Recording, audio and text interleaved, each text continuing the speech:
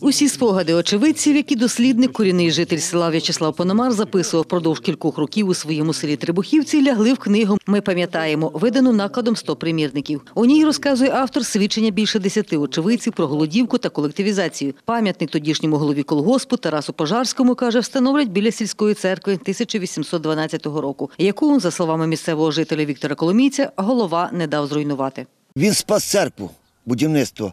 Він завозив туди зерно. В'ячеслав Пономар каже, знає, як виглядатиме пам'ятник, та й гроші на нього вже є.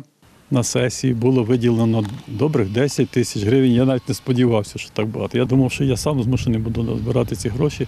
У музеї голодомору 32-33 років у заповіднику Межибіж стоїть скринька для збору грошей на пам'ятник Тарасу Пожарському. Зберігачка фондів Вероніка Візнюк розказує, скільки жителів ближніх сіл померли від голоду в ті роки. По Летичівському району це більше 6 тисяч. Найбільше постраждало село Шрубків, там 1200 чоловік загинуло. По селу Трибухівці таких е, даних е, немає точних. Точних даних немає, бо від голодної смерті селян рятував голова колгоспу, говорить В'ячеслав Пономар. Каже, коли записував свідчення, виявив навіть факти людоїдства. На цій вулиці показує в 33-му багатодітні батьки вбили та з'їли свою дитину, за що їх судили. Усі в Трибухівцях додає, знають їхнє прізвище, та ми не називатимемо його. За свідченням очевидців, е, зокрема Марії Климівни е, Пославської, ось тут, от в цьому ри, е, або цей, або цей будинок жили. Вони, мовляв, з'їли свою дитину. Край дороги було викопано е, кісточки цієї дитини. Та ж Марія Пославська 24-го року народження стала очевидицею побиття сусіда в 33-му році за те, що чоловік викопав на городі корч картоплі для своїх дітей. Його, за свідченнями очевидців, поклали в ясла та забивали важким камінням його ж сусіди. Вона каже, я чула, як гули його груди, коли по грудях били оцими камінцями. От цей чоловік після того пожив кілька днів і вмер. Вона не казала, хто забивав, вона казала кого. У тому ж 33-му продовжує дослідник головою колгоспу в Трибухівці призначили не місцевого Тараса Пожарського. За свідченнями старожилів він рятував людей від голодної смерті. Не одне свідчення. Жінка згадує, скільки на трудодень отримували люди в Трибухівцях. Так ніхто не отримував в навколишніх селах. Він в додатковий час засівав площі неугіддя, яруги якісь, можливо, мочарі, десь е, якийсь дренаж робили. От. І от з тих площ роздавав людям землю.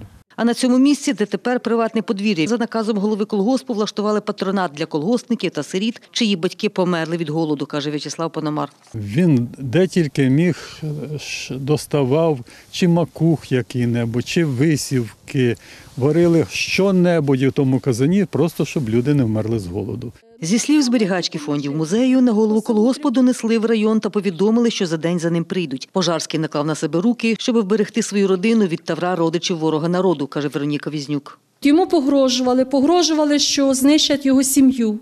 І таким чином довели людину до самогубства. Навіть рушниців не мав, він взяв рушницю чи то в сусіда, чи то в кума, я не знаю. От і застрелився. В'ячеслав Пономар додає, нащадки Тараса Пожарського, які досі мешкають у тій же хаті, в яку поселили в 33-му приїжджого голову колгоспу, вважають його праведною людиною. Дружина його правнука каже, родина згадує його повсякчас. Постійно, звичайно. Знаю, що своїм самогубством він врятував свою родину і багато ще інших людей. За офіційними даними, які є у музеї голодомору на території теперішньої Хмельницької області від голоду за 32-33 роки померли 34 тисячі 347 людей. Світлана Поробок, Олександр Горішевський. Новини на Суспільному. Хмельниччина.